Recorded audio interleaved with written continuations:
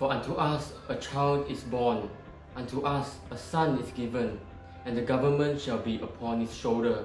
And he will be called Wonderful Counselor, Mighty God, Everlasting Father, Prince of Peace.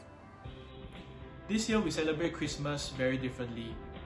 However, despite all the changes, we remember the true unchanging meaning of Christmas, and that is to celebrate Jesus, His birth, and what it means for us. We celebrate Emmanuel, God with us.